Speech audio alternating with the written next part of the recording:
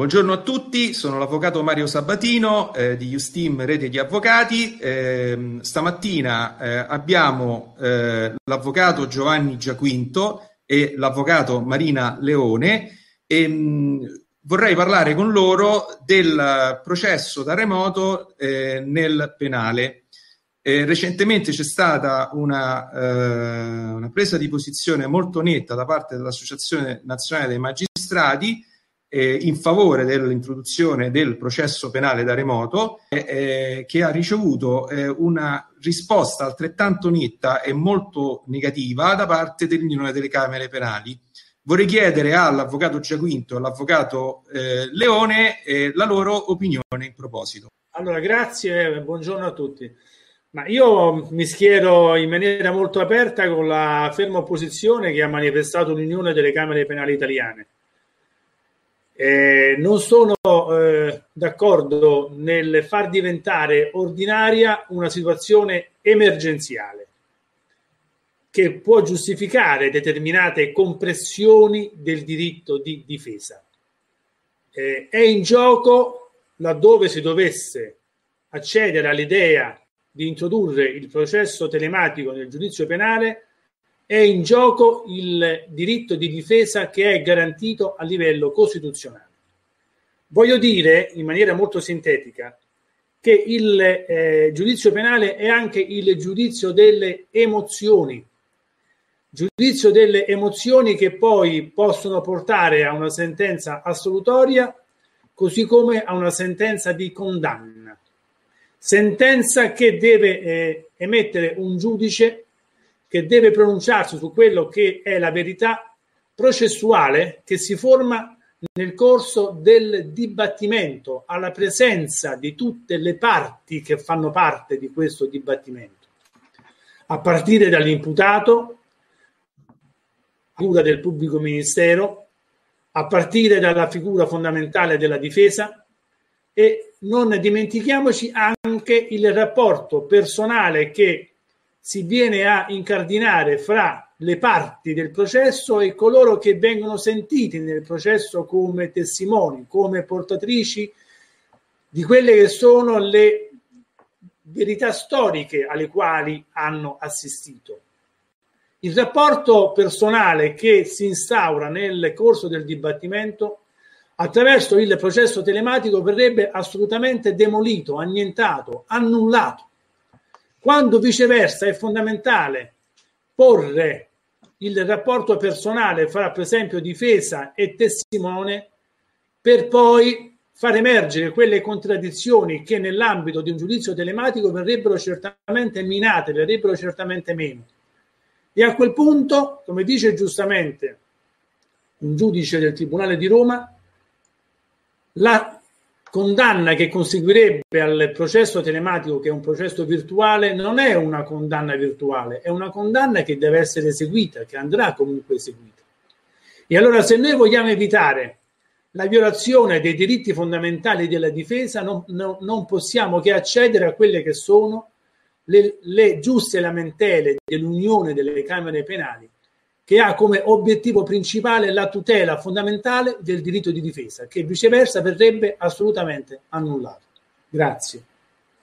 Grazie Vanni. Eh, la tua è una presa di posizione molto netta, ma io penso che, mh, vabbè, non sono un penalista, sono un civilista, eh, però credo che anche nel processo penale ci siano delle fasi che possono essere gestite attraverso lo scambio di memorie scritte o addirittura anche in, eh, in, da remoto, in videoconferenza.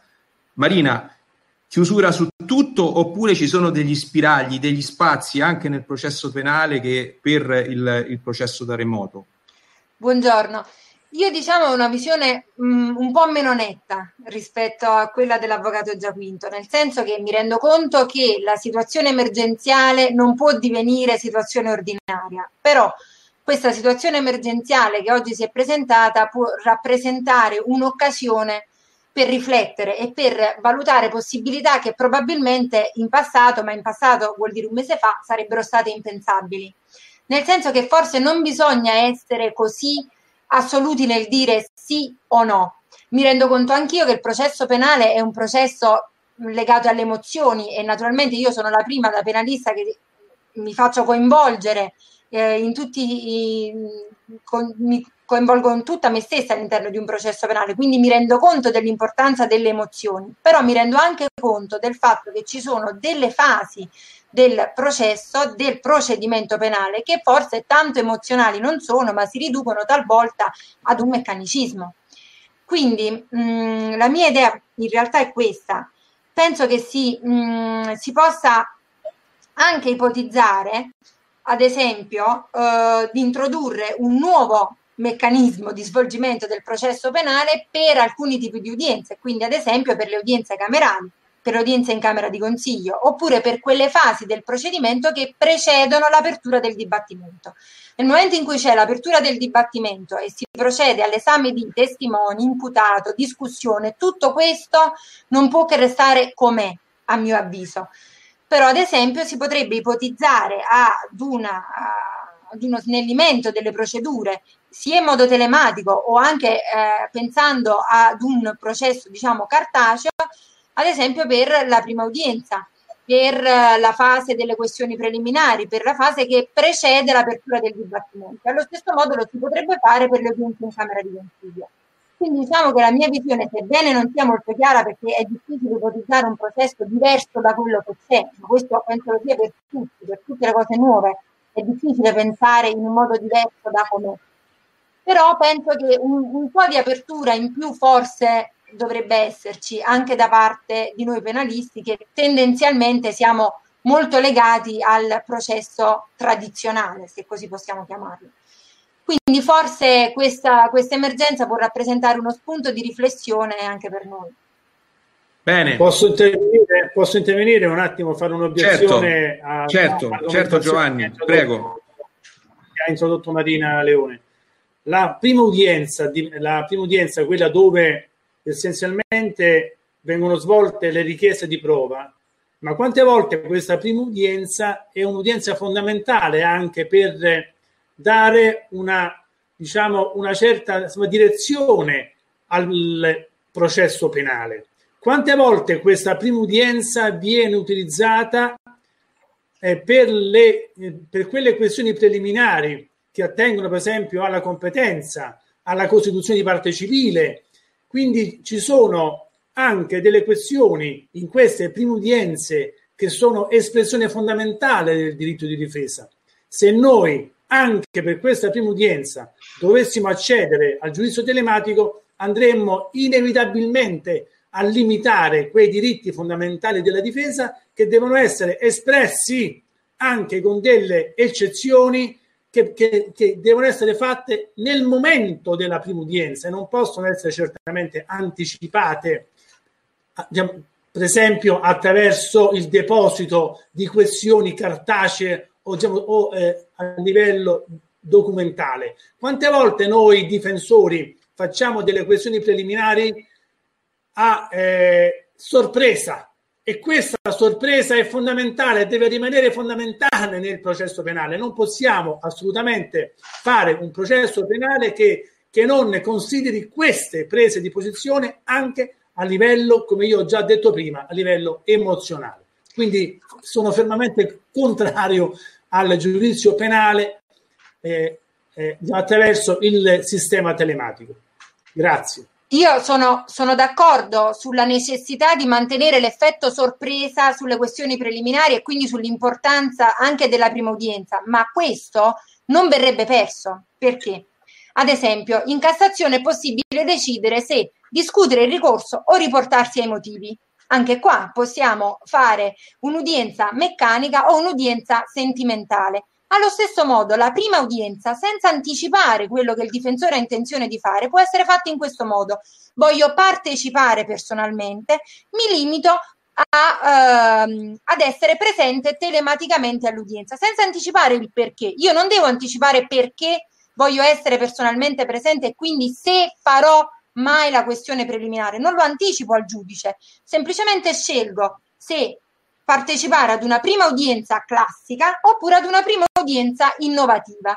Prima, se partecipo ad una prima udienza innovativa, svolgo la prima udienza in modo meccanico, come molto spesso accade. Se invece scelgo di fare la prima udienza classica, faccio le questioni preliminari con tutto ciò che ne consegue, l'effetto sorpresa, l'imprevisto e l'elemento, insomma, e tutte le caratteristiche tradizionali.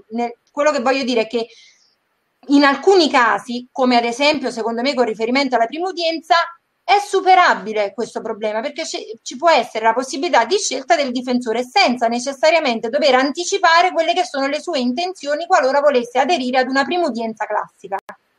Ma allora, se per esempio vi è una parte offesa che si costituisce in giudizio, come faccio a sapere in via preliminare? Come faccio io, ovviamente avvocato, a poter eccepire in via preliminare una questione sulla inammissibilità se non ho modo di valutare seduta stante in quel momento quello che ovviamente il mio avversario nel processo intende fare. Se Quindi ci, ci sono anche delle problematiche di natura concreta.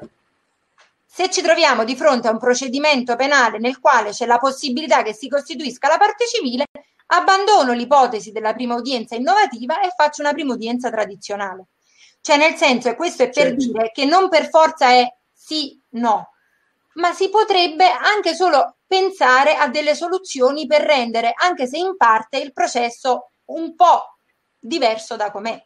Quindi ci, esistono delle sfumature, esistono delle sfumature. Cioè, io ammetto la possibilità che ci possano essere dei cambiamenti. Non sono così, diciamo, assoluta nel negare la possibilità che dei cambiamenti ci possano essere. Benissimo. Io vi ringrazio di, di avermi Ring, ringrazio, io, ringrazio io voi, invito tutti gli ascoltatori a seguire questo podcast e a seguire le iniziative di Ustim Rete di Avvocati all'indirizzo www.ustim.net. Buona giornata. Grazie, buona giornata.